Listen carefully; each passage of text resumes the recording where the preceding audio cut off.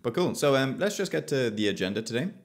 There's a few things that uh, I wanted to talk about, uh, mainly things that we've all spoken individually about, and some uh, ideas and some decisions that have been made. So um, uh, let's start off by uh, talking about cost. So I, I have Bishal's PR uh, open in front of me because I think it's going to be a good uh, starting point. Uh, as most of you already know, uh, Bishal has been working throughout the month on uh, the cost calculation for the CloudFront distributions and functions, but um, through his work and through the collaboration with Azan, they realized that there was a lot of uh, um, kind of uh, difficulties when it comes to accurately grabbing, like aggregating the, the cost. I think in this particular case, uh, the CloudFront distributions calculates cost um, um, against the source of the request and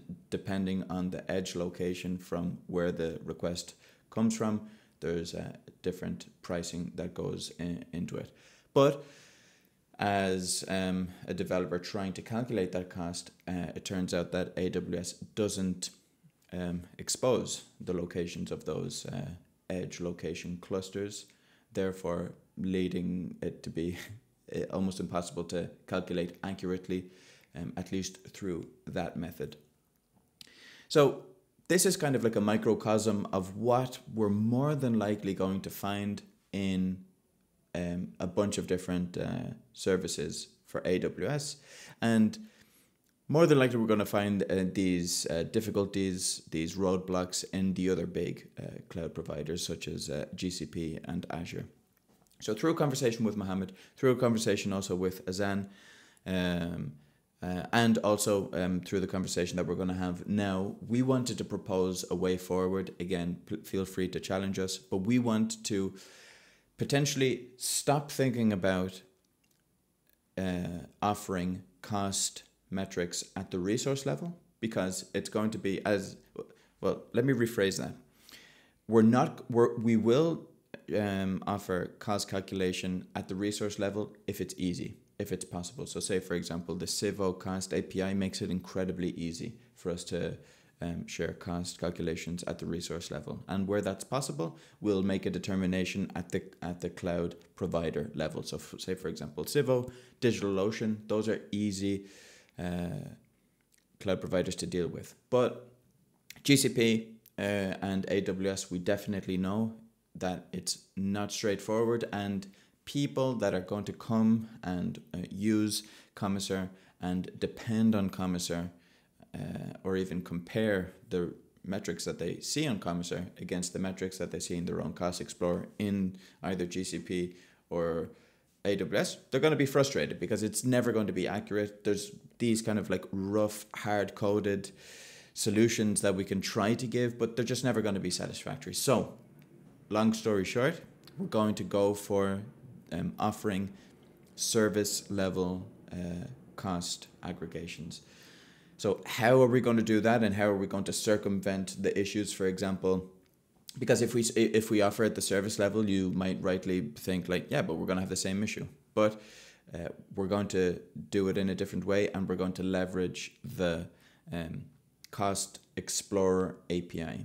Now, there's a few kind of like layers of difficulty, or not so much difficulty, but questions that we're going to need to ask ourselves because there is a cost for calling the Cost Explorer API.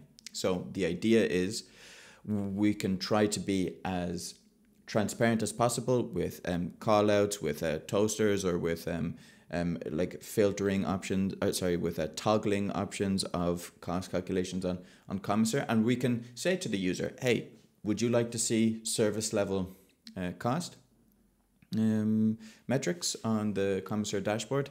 If so, you can toggle here. And if you toggle there, say for example, you will uh, will make clear to them that there will be some small uh, cost associated with with with those uh, calls.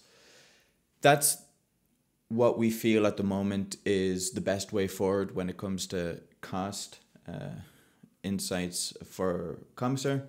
I'm going to stop there and just open it up to um, to the team here to see what does what, does that sound okay to you? Is there anything that comes to mind? I see that Kunal has a question here. Might be a best basic question, but what would be the difference between being resource level and being service level? Totally valid question. So um, the the difference between the service and the resource is that uh, the for example EC two is the service, so we would aggregate all of the EC two uh, resources, all of the EC2 instances, and we would say, hey, all of the EC2 instances in whatever account equates to $200. So we're not going to say specifically which uh, which EC2 instance cost specifically how much, but at least we'll be able to give uh, them the the the idea of where the majority of so so it's kind of like a the first approach insight into cost. So say for example, they'll know that that hey, I'm actually spending a lot on RDS uh, instances. We'll be able to give them that, but we won't be able to tell them exactly which instance in particular is is costing exactly how much. Does that make sense?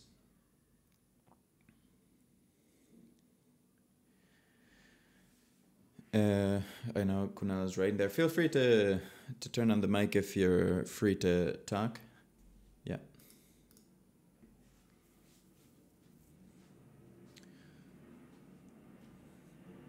Yeah, I thought I was writing too much there.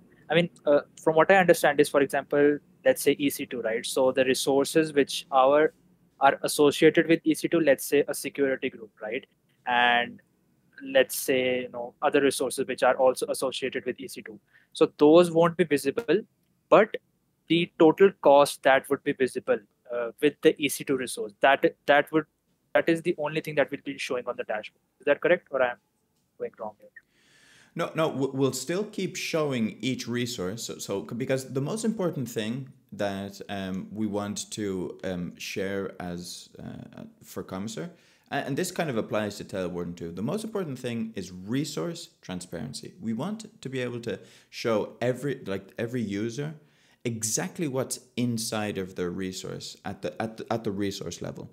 But the thing is, for them to take that extra step to give the specifically how much they're paying for each one of those resources, we're seeing that for AWS it's going to be complicated, it's going to be uh, bespoke, it's going to be very custom to each one. So we're going to take one step back when it comes to cost, and we're not going to worry about specifically how much the EC2 um, A, sorry, the EC2 instance A costs. We're just going to say all of the EC2 instances that you have, they cost $250, for example. And even though there are other resources, say for example security groups that kind of like fall inside of the of the compute or sorry inside like when you kind of like fire up an EC2 instance, other resources come along with it. I, I'm not including those into the, the cost because the thing is, EBS volumes, they're also uh, include, they're also like fired up by default when you provision an EC2 instance, but I would separate those when it comes to the aggregation because EBS volumes also come with their own cost. So say for example, if, if you delete an EC2 instance, but you don't delete the EBS volume, you're going to be charged for that. So we definitely want to be able to give that layer of cost kind of insights, but without saying, hey, that EBS volume B which is in re- region um, US East 1 costs exactly this much. Does that make sense? Yeah, yep, makes sense. Thanks.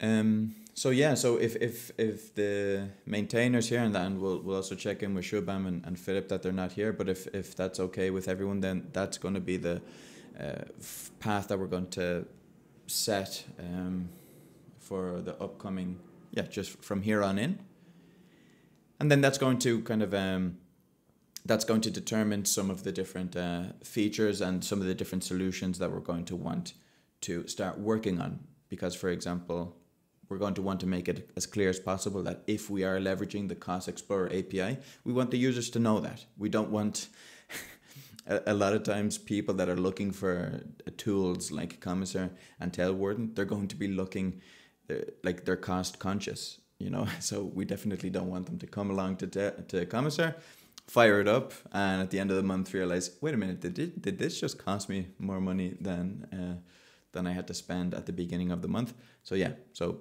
to be careful with that.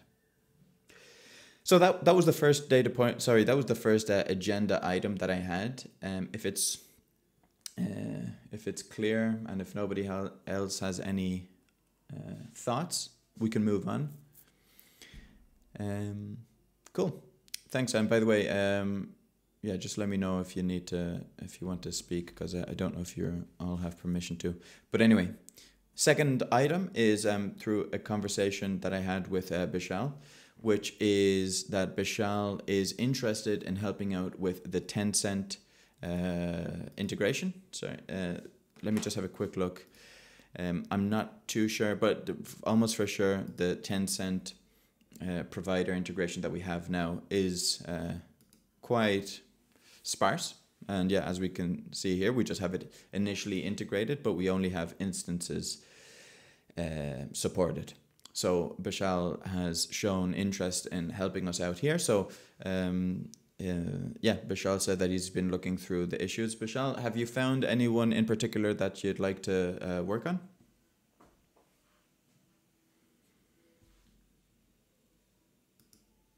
Just going to invite you to speak. Uh, just just let us know if you can't speak at the moment.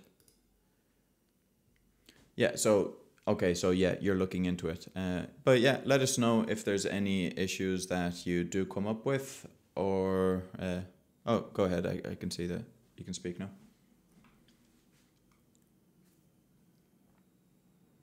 Yeah. Uh, can you hear me? Yes. I was just looking forward to some issues uh, to just get started with my working on, but uh, uh, so so basically currently i'm um, i'm looking into some some sort of basic things of the tencent tencent cloud and i can see only one instance is existing for now on the komiser repo but yeah i'm looking into some you know some of the issues which which already been opened uh, to get started with my work on and we'll let you know there like from which one we can start like I can see plenty of issues uh, has been opened. So yeah, looking into it. Perfect. we'll yeah, let you know soon. That's that's great, and let us know also. I don't know if we actually have a Tencent account, but if you do need one to test out some of the features that you're going to be supporting, some of the services that you're going to be supporting, let us know, and we can potentially fire up a a Tencent account for testing. I hope so alternating one to testing purpose. Yeah. Exactly. Perfect. So um, thanks a million for that. So moving on, uh, I also wanted just to quickly touch on the fact that uh, there was a contributor um, who is also a Komiser user who told us that he and his team um, heavily leverage the code suite um, the code suite uh, set of services. So I just fired up uh, at the beginning of the week these um, these issues. Uh, it, it, turns out that there, we have one contributor uh, who's um, Subajit twenty who has um, shown interest, uh, even though he is going to need some help to get going. Uh, I'm going. I'm going to push him in the direction of um, starting off with at least um, AWS code build or code pipelines first, since um, those are a little kind of like higher priority um, inside of the code suite. But if anyone kind of like uh, pops up on your radar, or if you see anybody who's willing to start um, contributing to Komiser, if you could push some of these uh, code suite issues uh, these are great, good first issues. They're not too uh, difficult, so um, th- so that would be great. Hey, say, how's it going? Good to see you. Um, so so yeah. Oh, and also say I don't know if uh, you're working on anything at the moment, but if you did want to uh, pick something up, um, any of these uh, AWS code Artifact, CodeStar, Code Deploy. These are, are great ones that would be really nice to support. Um, cool. Moving on, uh, unless anyone has anything else there, um, is uh, something that we were talking about recently with Azan. Uh, this is the um, idea of having a place, having an official place to showcase not only the uh, badges that people are going to be able to earn as Komiser contributors, but also maybe kind of like a a members uh, i don't know i, I kind of came up with this name but we can co- completely change it but kind of like a hall of fame or something like that. Um uh, Shub, um azan shared some uh, examples of other communities that have kind of a wall of the different avatars of the different contributors. By clicking on the avatar you gain access to their profile. And right there in the profile you can see the badges that each uh, contributor has earned over uh, the time of participating at a, at a project. And this is something that I think that would be really, really great for us to uh, offer also, because now that we're going to be, uh, the design team has been hard at work coming up with a list and uh, started working to get the badges developed. I think it's going to be a pity if we don't have some kind of place to showcase uh, the badges. So, um, um, Azan also came up with the idea. Let me have a quick look here. Yeah, layer5.io, they're, they're a great example of, of yeah, exactly. So we have here the, the, the person, we just uh, click on their profile and we can see the badges they have here. They're free to uh, update their their profile here. So the question that I had for you, because I already put this to Mohammed and to the design team, they're completely on board, but now the idea is just the best way to go forward. Um, I, I see that Layer 5 has this community page and members page embedded into their uh, landing page. Um, if we look at our landing page, it's at komiser.io, but it's, oh, sorry, this is, went over to the komiser komiser.io. But the thing is, komiser.io is built on Webflow, and Webflow um, is not necessarily kind of like the most, uh, the, the, probably not the best place to um, add this kind of um, page. What uh, Mohammed said is potentially adding a section on the README, or uh, even better could be um, a solution that we leverage GitHub pages. Um, Azan, do you do you think it could be possible to do on GitHub pages and then maybe like link to the landing page in some way?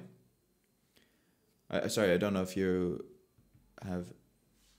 We can, yeah, but um, yeah. So to be honest, whichever is easiest, I'm guessing would be the best way to go. I I think uh, the design team expressly asked to find an alternative to Webflow because uh, it would be kind of uh, difficult? Yeah, uh, I think like uh, we can okay we can add uh, our um, GitHub pages website, the Hall of Fame website, as uh, in a subdomain of komiser.io. I think that's pretty doable, and then from Webflow's uh, like it will have a link in Webflow, like blog has a link or any other like star navigates to our GitHub repo. It will have that link which will uh, navigate to that subdomain halloffame.komiser.io, which will have our GitHub pages deployed there.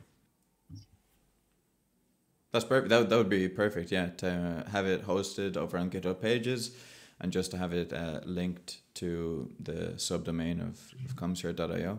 That would be perfect. Um, yeah, so I'm just going to add that here. Um, uh, perfect. So, um, do you think the best way forward there would be to write up an issue on on GitHub, or uh, maybe do you want to take that initiative, Azan? Uh, uh, Avinesh can help with automations. Um, let's create like a mm, you know let's discuss a couple of approaches right now. Mm-hmm. Okay and then mm, like I'll create a repo. Okay, I'll uh, take Avnish on board with all the automations uh, that will be required for uh, you know awarding badges. I think he's already on that. Okay, the awarding badges part. Mm-hmm. Yeah, like but before uh, we jump on that, like let's discuss a couple of approaches here. GitHub Pages uh, natively supports Jekyll. Okay, although we can like have any other static website there, it natively supports Jekyll. Like, do you do we want to go any other way, or like do we want to go with Jekyll?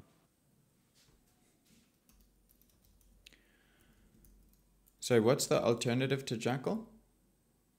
Like any other static site, like even if you write pure HTML, CSS, that also works.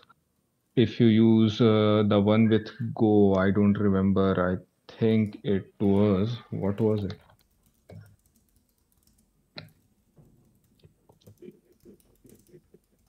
Hugo, yeah, Hugo. We can use that as well. Um, I have no no preference uh, at all. Like it, it's really like it. It doesn't really matter for you know our use case. It's just a choice that we have to make either way. Yeah. See, a lot of a lot of people, uh, the CNCF community uses uh, I don't know if that Yeah, is like- if, if they're not uh, very happy with it or not, but I, for a fact they use a lot of uh, Hugo, so maybe we can go for that.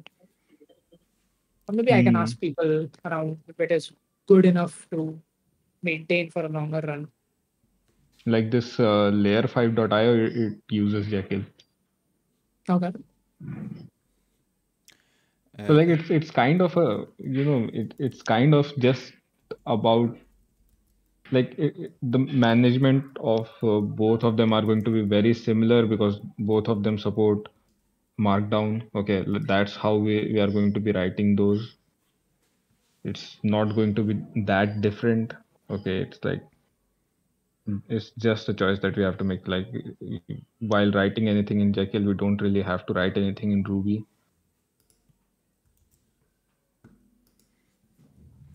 And same is with Hugo. Like we don't really have to write anything in Go either. Like you can do it without knowing Go.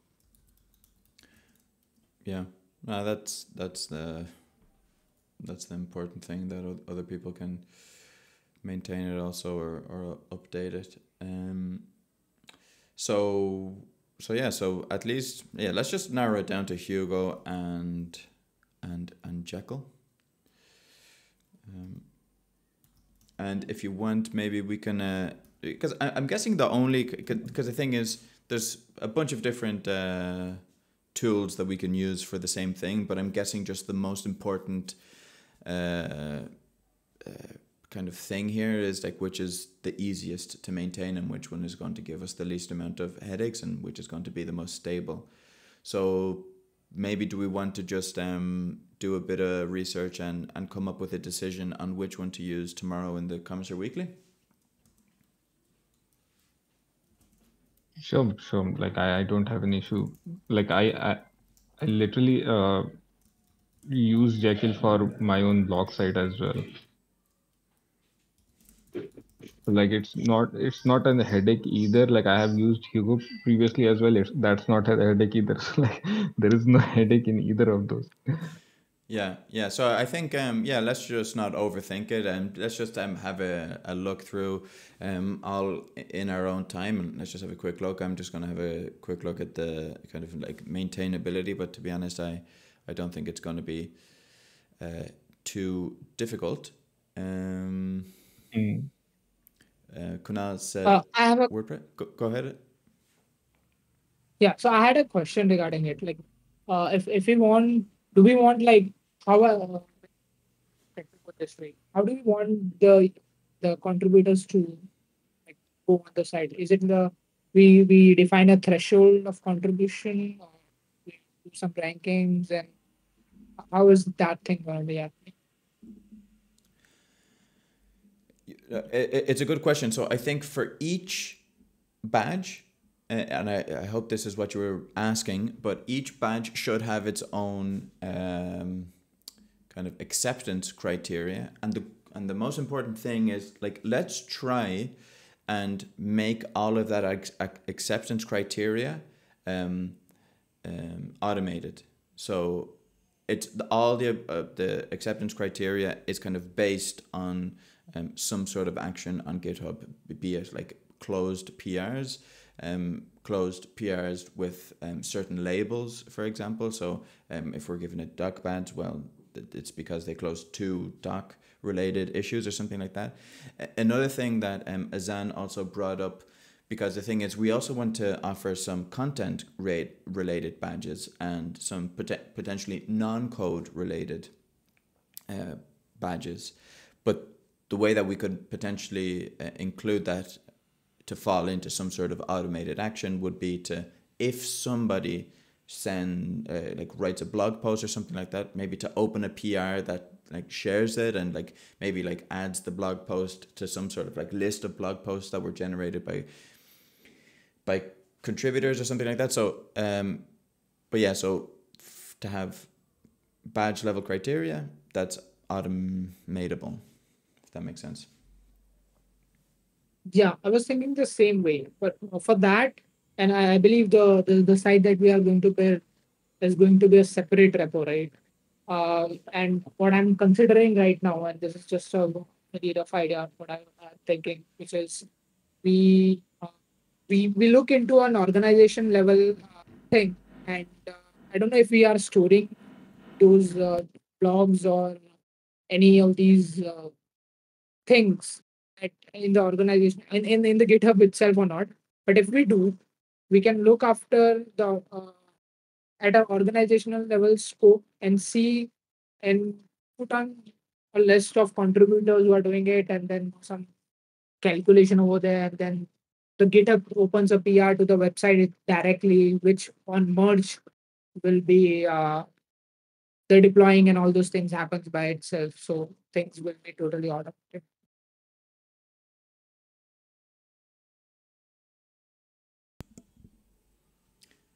Uh, go ahead, Kunal. But yeah, I I totally agree with you, um, Avinash.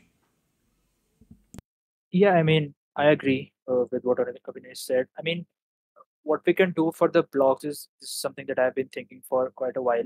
If, for example, some contributor from outside wants to you know write blogs for Komiser, right? Uh, maybe covering different use cases of Komiser. So we can have them open a PR to that repo and we can have a separate label for that particular PR. And that's how we can track the number of contributors who have made blog contributions, let's say. I mean, this is something that uh, uh we can relate that to the labels for that particular uh, PR that was made. This is something that we can do with the blogs, but I am not really sure how can this be done if they want to contribute a video, let's say. Blog is something that we can do like this, you know, tracking those labels, those particular labels but this the video part is something that we got to discuss. So uh, one thing i'd like to say is uh, like any kind of content okay whoever is creating the content wants to get traction on it. Like it's an obvious thing like a writer wants people to read what he has written and a video creator wants to see his video. So we are just providing them a way to uh, you know li- get their blog post, okay, their article, their video to be listed and kind of featured uh, from our side. Okay, like, you know, content this month or writer of the month or like whatever we can write, you know, to get them traction so that that's why they will create a PR. Okay, PR with just a link. Okay, not a video, nothing. Just a link with their video, and we are going to keep a list in our repo that these are our um, these are our content contributions okay these are the videos and these are the blog posts articles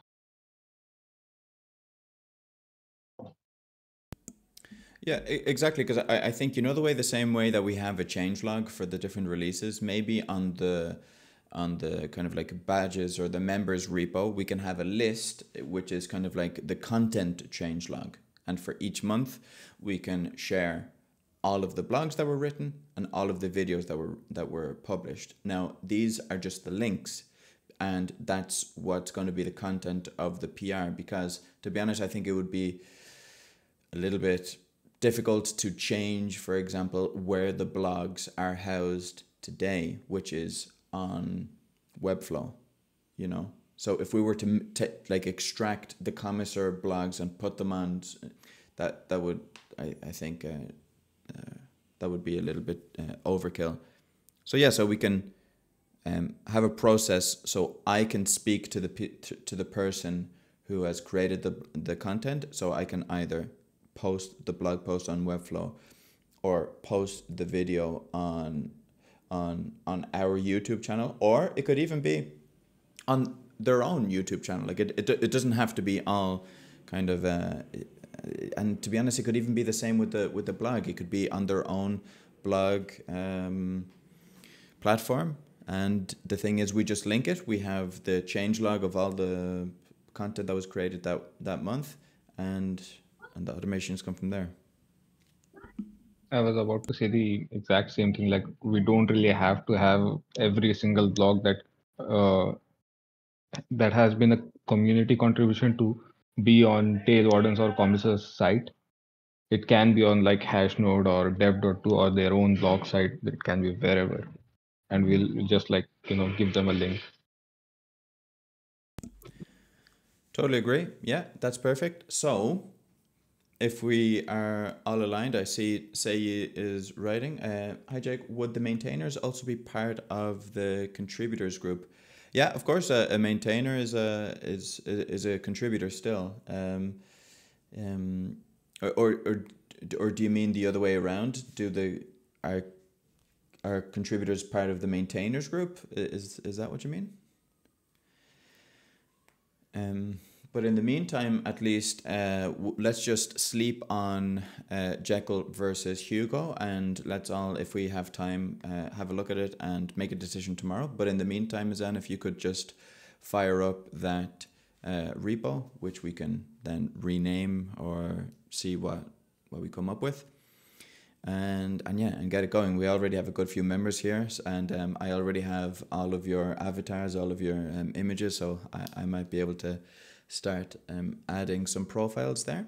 And yeah, that's going to be have fun. uh, one more question uh, regarding this uh, website. Okay.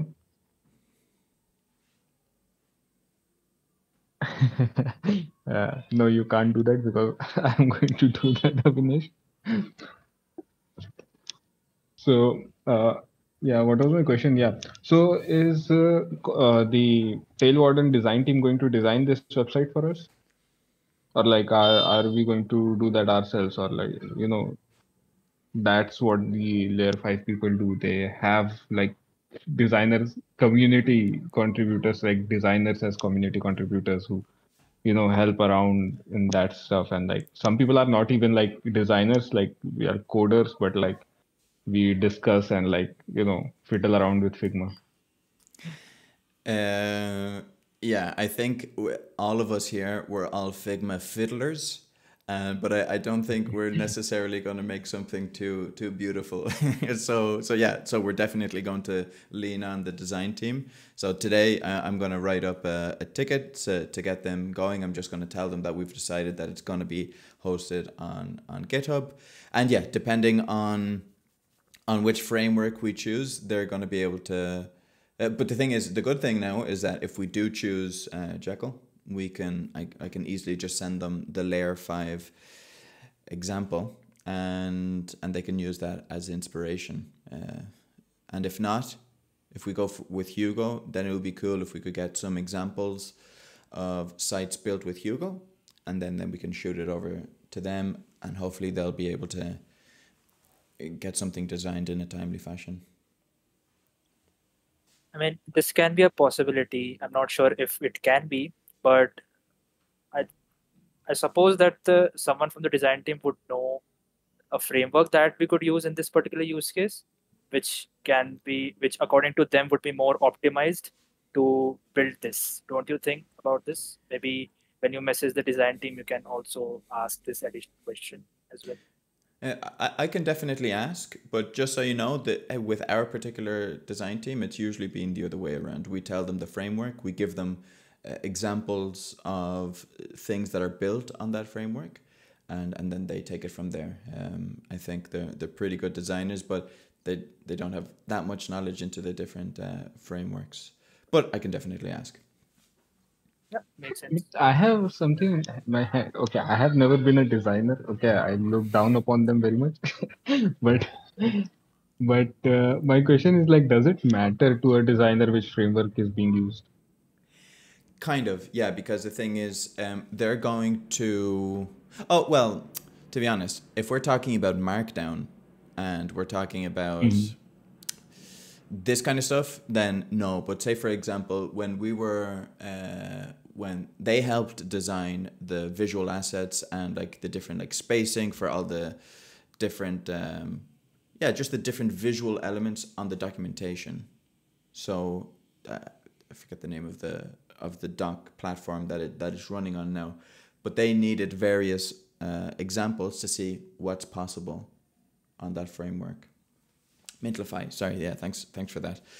So, so yeah, Hmm. but to be honest, yeah, I think since this is going to be uh, Markdown, it's going to be pretty simple, like avatars that just open up and and and different squares for for JPEGs, which which, which is going to be the the the badges. I think it's pretty straightforward.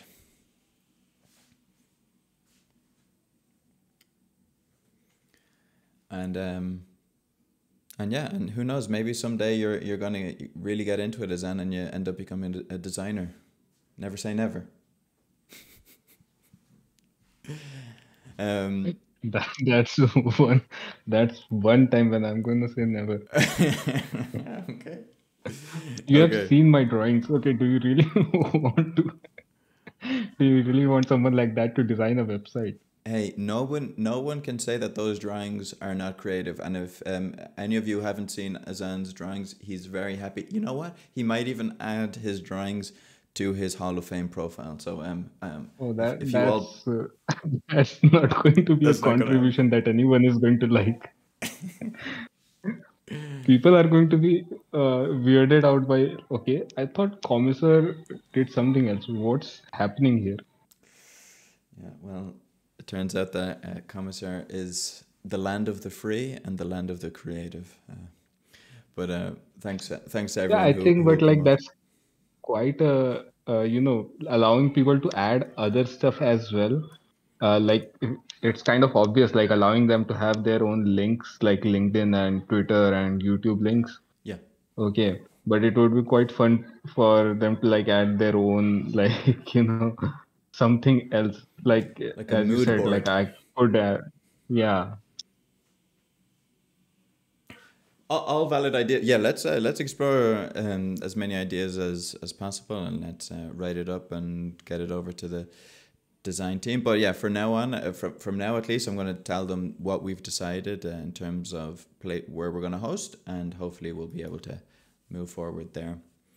At least to get the ball rolling and take a decision tomorrow on the framework. Uh, just so we don't spend too much time, I don't want to take uh, much more time of the, everyone that's here. I just have one more uh, item to talk about, and um, and feel free if anyone here has any items, um, either write them in the chat or or or jump on the mic. But the last thing that I had is uh, something that Kunal brought up, which is thinking about a section potentially in the documentation where we go into and explore different uh, tutorials for different use cases. This is something that I think is very, very useful and something that I think we should, uh, uh, at least I should spend some time thinking on what kind of use cases do we want to uh, promote and what kind of like solutions do we want to be able to help people uh, find quickly and accessibly uh, through Komiser. So something that uh, comes to mind is that um, there's certain use cases around um, using uh, either Komiser level tags or or contributor, sorry, or cloud provider layer tags to be able to build um, team based um, custom views. And by doing that, the Komiser admin is able to see exactly what's being uh, used and leveraged by each uh, team. So I think if we could um, slowly start kind of like building a kind of small repository of different use cases, because the thing is, sure, cloud transparency and insights is cool, and yeah, sure, we're gonna be able to you, but use that as, as much as we want, but it's quite open. It's a it's an open kind of concept, cloud transparency. So if we can kind of like narrow it down into tutorials for specific things. So say for example, using the the custom webhook integration, like what particular automations do we want to promote? So say for example, if uh, cost goes over a certain amount, maybe we can show them how to um, through the custom webhook turn off uh, an EC2 instance or something like that. Maybe that's a little bit too uh, encroaching too much on their on their uh, resources, but different different uh, ideas like that. Um. So, so yeah. So Kunal, thanks for coming up with the for promoting the idea of coming up with tutorials. But uh, I think now what we can probably do, I don't know, either in the content creation um, channel or or or somewhere else on the Discord server, but to come up with ideas of different use cases. Maybe that maybe we might need to like speak with with more users and see exactly how they're using Komiser, how they get value from it, and and then build more content that way. Um, yeah, one. Uh, sorry to cut you. You were saying. No, go ahead, please. Okay, thanks. Uh, one question that I had related to this. So, and I would love uh, everyone's thoughts here as well, who are in the chat or who, who can speak. Uh, initially, my ideology of coming up with the idea was for beginner contributors, more you know, centric to beginner contributors who are just starting out. Because I sometimes see that you know a tool is being there is a tool, for example, I go to their documentation, I see how to install and how to do stuff, but there aren't any there aren't many projects that show actual use case of that particular tool in a real life project. And from creating tutorials and from writing blogs, I've seen people actually, especially beginners, actually relate to that open source tool when it's being used in a real project, right? When it's been integrated with certain tools from the ecosystem and it's actually doing something, right? Rather than just working separately and running it out a local system. So initially, my idea was that the the tutorials that we come up with should be very simple to implement and very short to implement, right? And uh, each tutorial should be focused on separate features of Komiser. Like you mentioned, the webhooks integration.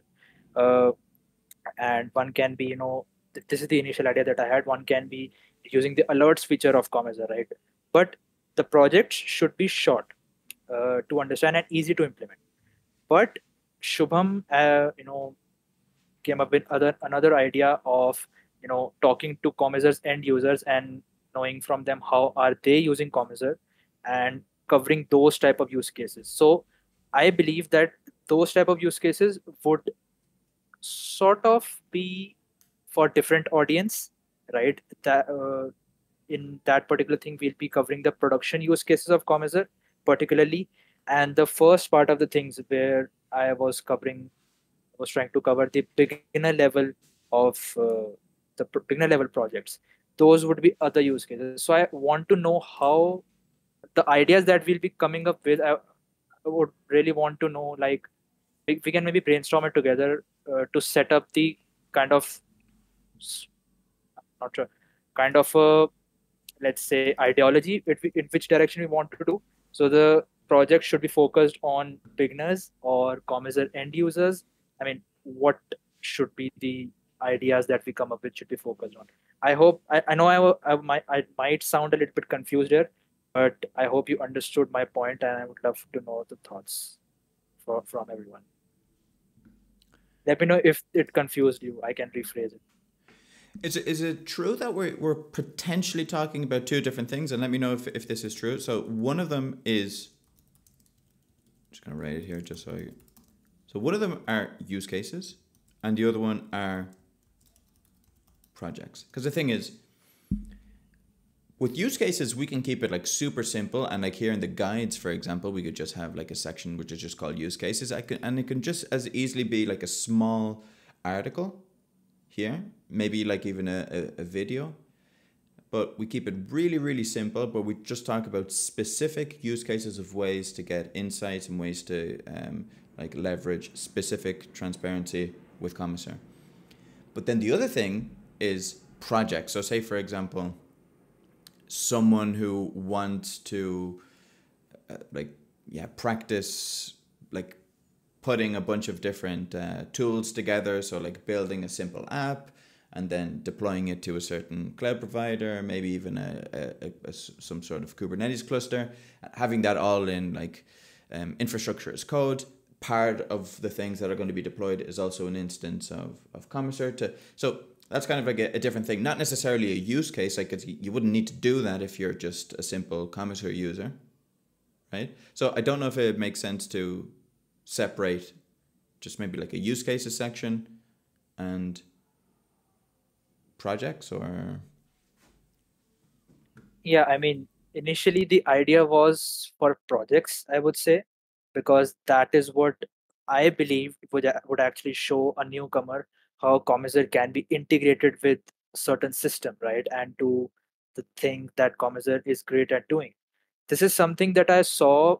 I haven't, uh, as I mentioned previously, I haven't seen many projects do this, but I still remember that I was looking at one of the projects, and that was the very first time in their documentation they had an entire section of projects, small small projects, uh, or which basically showed different ways in which that tool was being used with other tools as well right? And that was that were end-to-end projects. And i actually tried one or two pro- building one or two projects and that really got me up to speed with what the tool is capable of and what it what it can do as a beginner.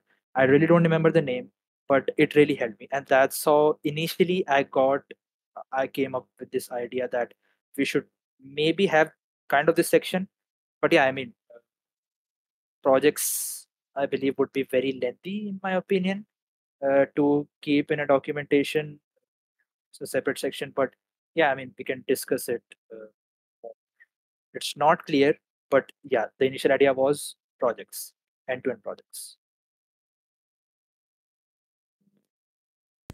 yeah perfect i like the idea a lot i, I think uh, use cases is something kind of different. So maybe we can reserve use cases for another conversation and, and another section.